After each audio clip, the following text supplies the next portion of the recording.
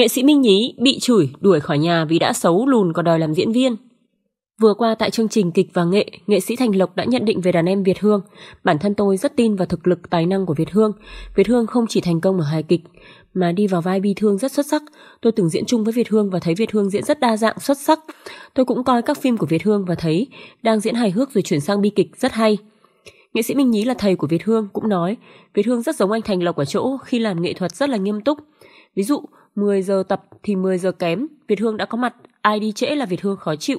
Cách làm việc của Việt Hương rất nghiêm túc nên đỡ cho tôi, cái gì hay trong nghề tôi đều thích. Tiếp đó Minh Nhí chia sẻ về chuyện đi dạy, học trò muốn theo đường làm nghề thì người thầy phải có tâm, tình yêu thương với học trò. Cái này là phải yêu thương thật chứ nhiều người nói yêu thương nhưng thực ra là xạo, chẳng yêu thương gì cả. Bản thân tôi yêu thương học trò thật, bây giờ lớp trẻ muốn làm diễn viên nhiều lắm, không thể chặn đường chúng. Đi nói là mày không theo nghề được đâu, không làm được đâu. Mai mốt lỡ nó nổi tiếng thì mình bị quê. Hồi đó tôi ở quê lên Sài Gòn học trường sân khấu, phải ở nhớ nhà ngoại. Có một ông cậu, cứ mỗi ngày tôi đi học về là ăn chửi. Ăn cơm, giật đồ cũng bị chửi. Ông ấy nói tôi chọn sai nghề. Xấu lùn còn đòi làm diễn viên. Thậm chí ông ấy còn đuổi tôi khỏi nhà bà ngoại vì nghĩ tôi không làm được gì với nghề này. Ông ấy bảo tôi không chịu đi làm việc khác. Cứ mơ mộng làm nghệ sĩ mà không chịu nhìn lại mình. Tôi không nghe lời vẫn cứ đi học, đi tập đêm tập ngày vì đam mê nghề. Ông ấy còn nói thẳng nếu mày mà nổi tiếng thì chặt đầu tao cho mày ngồi. Tôi nghe xong buồn lắm. Sau này nổi tiếng tôi vẫn gửi quà cáp cho ông cậu đó nhưng không về thăm. Có một lần ông cậu bảo với họ hàng, chắc nó còn giận tao nên không về. Tới khi ông cậu bị bệnh tôi mới về thăm và bảo không giận. Sau này tôi đi dạy không bao giờ chê một học trò, dù nó có xấu hơn tôi. Chưa bao giờ tôi dám mở miệng nói học trò mày đừng đi làm nghề. Lỡ ông tổ thương nó cho nó nổi tiếng sau một đêm. Thời buổi này càng dễ nổi tiếng, nhiều khi chỉ cần một đêm thức dậy là nổi tiếng. Tôi đi dạy học chỉ coi học trò tìm đến mình vì muốn học hỏi kiến thức, kinh nghiệm. Tôi biết tới đâu chuyển dạy tới đó. Có những người tôi chỉ nói một lần là họ biết hết, nhưng có những người nói mãi không hiểu, tôi thương cả hai, rồi đến lúc những người đó cũng nhận ra họ không có năng khiếu. Ca sĩ Ngọc Sơn, tôi hiến thân tôi trả nợ cho đời. Lâu nay, việc Ngọc Sơn thường bán những kỷ vật đắt tiền hay cho đấu giá điện thoại đẹp của anh dành tiền làm từ thiện không phải là chuyện lạ. Ca sĩ Ngọc Sơn cho biết chẳng có gì lạ và cũng không có gì to tát cả. Ngọc Sơn làm như vậy cũng là muốn trả nợ cho đời. Mở đầu câu chuyện tại nhà riêng của mình, ca sĩ Ngọc Sơn khẳng định trong cuộc đời này cha mẹ sinh thành và cho Sơn giọng hát và đời đã cho Sơn cuộc sống hôm nay. Không phải khi thành danh Ngọc Sơn mới thấy điều này. Ngọc Sơn kể, được sống trong gia đình cha mẹ đều là nhà giáo, anh chị em được chăm sóc, ăn học tử tế, nên khi mang kiếp cầm ca, lúc nào Ngọc Sơn cũng nặng lòng với đất mẹ, quê hương. 20 năm ca hát đi khắp đó đây, cuộc đời cho Ngọc Sơn nhiều trải nghiệm. Cái lắng động sâu sắc nhất vẫn là tình cảm của hàng triệu khán giả dành cho mình. Không phải chỉ có ở Việt Nam mà nhiều lần đi hát ở nước ngoài, Ngọc Sơn cũng luôn khoe rằng đất mẹ Việt Nam đã cho Sơn nhiều cơ hội tốt. Có lúc vấp ngã, song với lòng vị tha của đất mẹ, Ngọc Sơn lại đứng lên và Ngọc Sơn luôn tự nhận mình là hai lúa, một hai lúa rất Việt Nam. Miên man một hồi, tôi mang chuyện bán nhà làm từ thiện ra hỏi anh. Rất hào hứng Ngọc Sơn khoe ngay. Vừa qua có vài tờ báo đã thông tin em hiến xác bán nhà, nhiều người gọi điện hỏi em thực hư thế nào. Và ngôi biệt thự vào hạng sang nhất nhì ở đường Sương Nguyệt Ánh, ngay trung tâm thành phố, mà sao giá khởi điểm có một triệu đô thôi, rẻ thế. Ngọc Sơn khẳng định không phải bây giờ em mới nghĩ đến chuyện làm từ thiện đâu. Nói ra có lẽ chỉ giới ca sĩ hoặc bầu show mới biết em làm từ thiện là suy nghĩ từ đáy lòng. Làm lâu lắm rồi chứ đâu phải hôm nay. Nhiều show diễn em dành hết tiền cát xê biếu tặng cho người già cô đơn, các em nhỏ mồ côi, những mảnh đời bất hạnh. Đời cho em nhiều quá và mỗi ngày em lại mang nợ thêm với cuộc đời này. Làm sao trả hết được. Thông tin chính thức mà ca sĩ Ngọc Sơn cho tôi hay là ngôi biệt thự của anh ở đường Sương Nguyệt Ánh. Giá đất cũng tới 20 lượng vàng một mét vuông rồi. Hơn 300 mét vuông đất cộng với cái dinh thự bề thế như vậy, có rẻ cũng 4 đến 5 triệu đô. Ngọc Sơn cho rằng anh vẫn độc thân và có thể còn độc thân dài dài nên không phải tính toán nghĩ ngợi nhiều về tiền bạc và nhà cửa sau này. Ngọc Sơn kể lại nhiều câu chuyện cảm động mà anh từng gặp. Ngọc Sơn rất nặng lòng với những trẻ mồ côi cũng như người già bị hắt hủi, không nơi nương tựa. Mỗi một lần chứng kiến là lòng anh vấn vương. Cũng chính từ chăn trở suy nghĩ ấy mà Ngọc Sơn đã quyết định bán đi ngôi biệt thự. Nếu bán được ngôi biệt thự, Ngọc Sơn chỉ dành một phần mua cho cha mẹ, một ngôi nhà nhỏ để các cụ dưỡng già. Phần lớn anh sẽ cùng một số nhà hảo tâm khác xây dựng một ngôi trường nuôi dưỡng trẻ mồ côi, những mảnh đời bất hạnh. Không biết bạn đọc và những người hâm mộ giọng hát Ngọc Sơn nghĩ sao? Riêng tôi cứ nhìn vào ánh mắt chớp dài, phảng phất nỗi buồn sâu kín của Ngọc Sơn. Tôi tin anh sẽ làm và làm được những việc lớn lao, nghĩa cử này. Cùng một thời điểm, ca sĩ Ngọc Sơn đã tạo cho dư luận nhiều cú sốc. Vừa tuyên bố bán biệt thự làm từ thiện, nay lại hay tin Ngọc Sơn quyết định ký đơn tự nguyện hiến xác cho bộ môn giải phẫu của Trung tâm Đào tạo Bồi dưỡng cán bộ y tế thành phố Hồ Chí Minh. như đọc được ý định của tôi, Ngọc Sơn cười vui.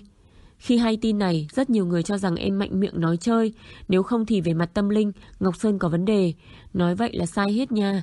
Năm nay em 39 tuổi, tính tuổi sinh là 40, tức là Ngọc Sơn sinh năm 68. Nếu nói hiến xác là đi sớm thì ghê quá, em còn khỏe, còn hát tốt, được đông đảo mọi người yêu mến, có quý nhân phù trợ nữa thì làm sao đi sớm được.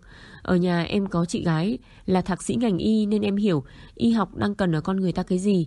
Nếu sau này chết đi được hiến xác cho ngành y học, Âu cũng là điều lành, một việc rất tốt mà em có ý định từ lâu rồi. Ngọc Sơn cho biết, việc bán ngôi biệt thự làm từ thiện cả nhà ai cũng tán đồng. Chỉ riêng chuyện Ngọc Sơn đã ký đơn tự nguyện hiến xác là gia đình hơi ngại.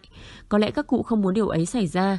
Đặc biệt là năm nay Ngọc Sơn mới 40 tuổi, anh còn khỏe và luôn rất yêu đời. Ngọc Sơn không muốn nhắc, muốn nói nhiều đến việc anh hiến xác. Anh nói đấy là chuyện của ngày mai và về phần mình anh đã ký đơn, làm tất cả các thủ tục xong rồi. Trước lúc chia tay tôi hỏi Ngọc Sơn, thông qua bài viết có nói điều gì với bạn đọc không? Lặng đi hồi lâu, như nhớ lại điều gì, Ngọc Sơn gật đầu. Là bạn đọc thân thiết của báo Công an Nhân dân chuyên đề an ninh thế giới. Em biết ơn báo Công an Nhân dân, đặc biệt là Thiếu tướng Nhà văn Hữu Ước, Tổng biên tập. Cũng nhờ báo Công an Nhân dân, em đã tham gia được nhiều chương trình từ thiện với người nghèo. Càng gần các anh, thấy việc thiện mà báo Công an Nhân dân làm hàng ngày, em như thấy mình cũng phải sống có trách nhiệm hơn với cuộc đời. Có lẽ việc em hiến xác hay bán nhà làm từ thiện cũng bắt nguồn từ nghĩa cử em học được ở báo Công an Nhân dân. Hơn thế nữa, trước sau anh ghi rõ cho em một điều, đời cho em rất nhiều, trả nợ cuộc đời này là mong ước của lòng em. Ca sĩ Ngọc Sơn đi tù và cách sống lạ lùng chẳng ai hiểu nổi. Ngọc Sơn sinh năm 1970, ba anh là người Đà Nẵng tập kết ra Bắc, mẹ anh là cô giáo Hải Phòng. Anh được sinh ra ở Đồ Sơn và lớn lên ở Bạc Liêu. Đó là lý do đi tới đâu anh cũng gọi những người hâm mộ là đại gia đình. Khi Ngọc Sơn chào đời, anh bị nhau thai quấn ba vòng quanh cổ, còn tiếng khóc thì ầm mỹ át cả tiếng radio báo giờ tập thể dục. Mấy cô hộ sinh ở trạm xá đùa rằng anh oai quá, vừa sinh ra đã đeo vòng hoa và có tiếng nhạc buổi sáng đệm cho khóc. Có khi mai mối làm ca sĩ, lời buông ra như gió thoảng, thế nào lại vận vào cuộc đời anh thật. Ba có máu nghệ sĩ, rất thích làm thơ, sáng tác, hát hò, nên từ nhỏ bốn anh em nhà Ngọc Sơn đam mê ca hát và hát rất hay. Tuy nhiên trong nhà anh vẫn là đứa nổi trội nhất. Bắt trước những nghệ sĩ thời bấy giờ, Ngọc Sơn thích để móng tay dài, tóc hippie và mặc áo bóng bẩy.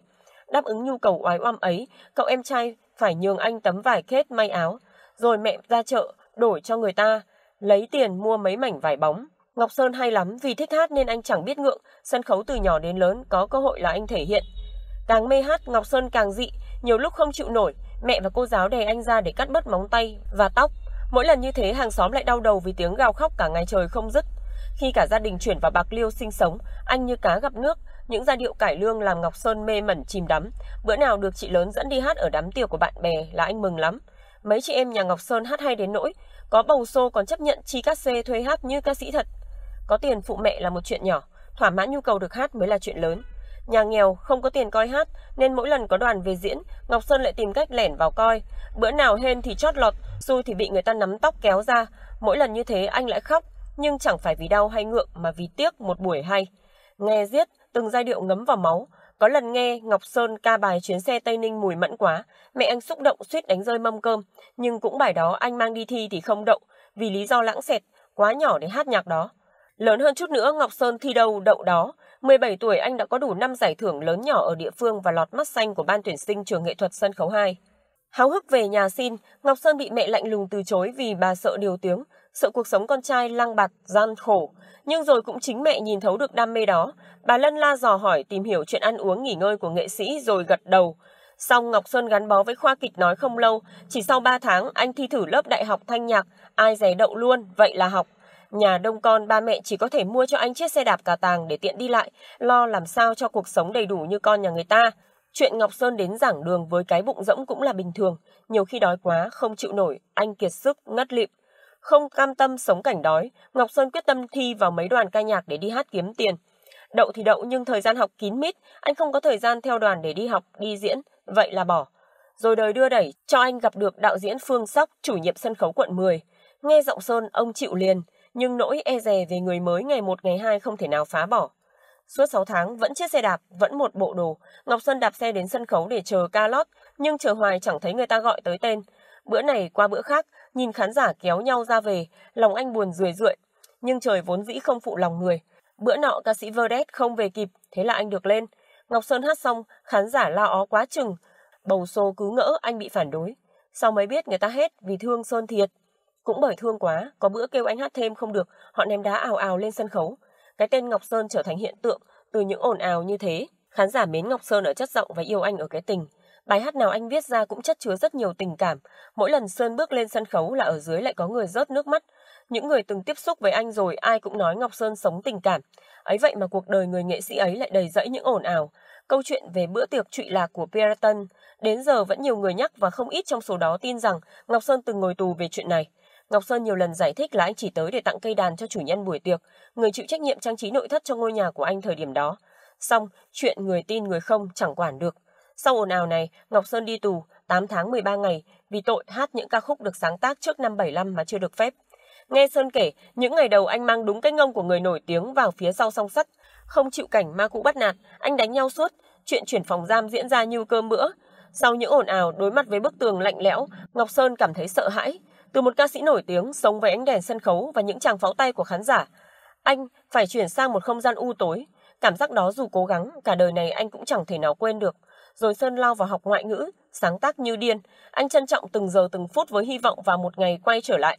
Mất đúng 3 năm, khi ai cũng ngỡ cái tên Ngọc Sơn vậy là chết thì anh lại bước lên sân khấu. Lần đó, vừa bước ra anh đã sụp xuống khóc lóc nức nở. Những giọt nước mắt khi ấy là thật, là rút ruột, là toàn bộ tâm can. Ngọc Sơn bảo vậy. Còn những lần sau anh nói chỉ khóc theo thói quen. Chẳng biết Sơn có vui thật không, chứ khán giả xung quanh anh hoang mang lắm. Cuộc sống đối với anh như bàn cờ không có quy luật, ai chót rơi vào đó cũng quay cuồng nghiêng ngả. Nay công chúng thấy anh lộ hình ảnh nhạy cảm, mai lại thấy Sơn kêu còn trinh tiết đời trai.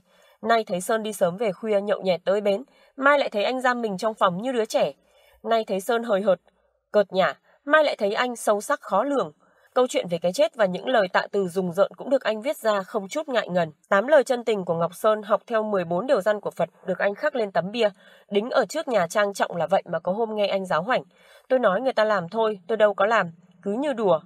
Ngọc Sơn là vậy, lời anh nói chẳng biết lúc nào là thật, chẳng biết lúc nào là đùa.